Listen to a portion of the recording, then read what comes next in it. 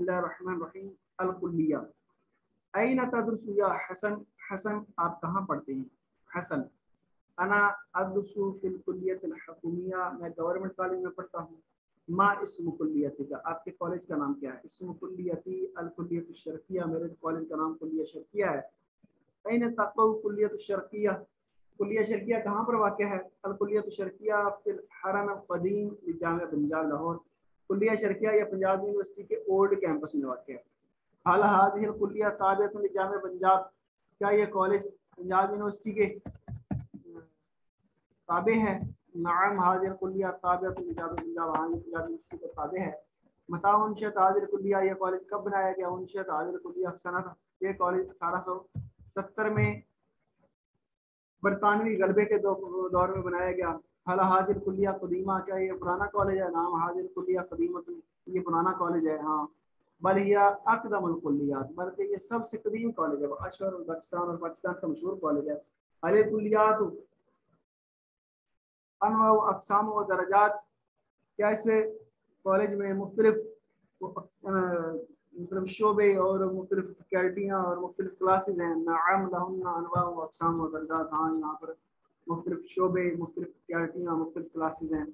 علی کلی کلیت رئیس الذی یقوم بادارتها و اشراف اعلی نظام، کیا ہر کالج کے لیے ایک ہیڈ آف ڈپارٹمنٹ ہوتا ہے جو اس کے امور سنبھالتا ہے اور اس کا نظام نظام سنبھالتا ہے؟ نام کلی کلیہ رئیس ہاں ایک ہر یونیورسٹی کا پرنسپل ہوتا ہے، رئیس ہوتا ہے۔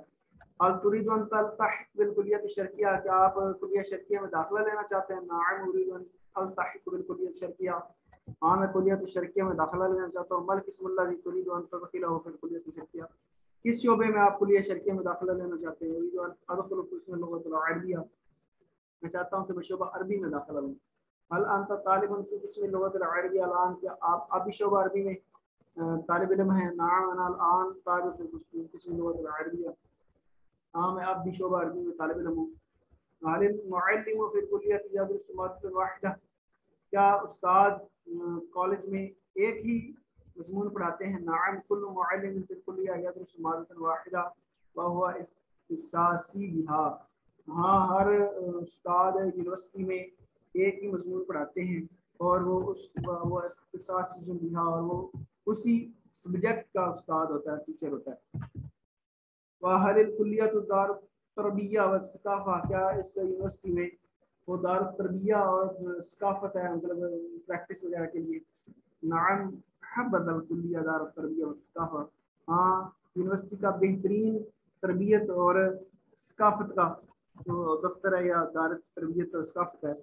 فَإِنَّهَا تربیہ الفنیہ بس یہ مختلف فنون کی تربیت کرتے ہیں۔ وَتَجْعَلُهُمْ آدام صالحین المجتمع۔ اور انہیں معاشرے کا ایک اچھا رکن بناتے ہیں نکئی العبو ادوارہم فی بنا الوطن، تاکہ وہ وطن کی بنا، وطن کی تعمیر میں اور اس کی ترقی میں اپنا کردار ادا کر سکیں۔